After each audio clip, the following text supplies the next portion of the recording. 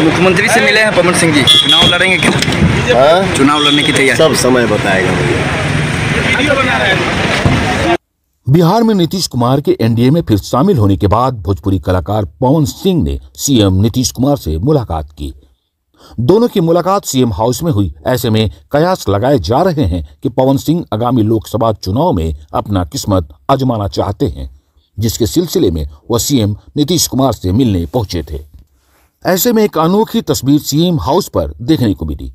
CM house की security में काफ़ी संख्या में पुलिस के जवान तैनात रहते हैं। वहाँ दिन भर कोई न कोई भी वीआईपी आते जाते रहते हैं, लेकिन किसी को कोई फ़र्क नहीं पड़ता।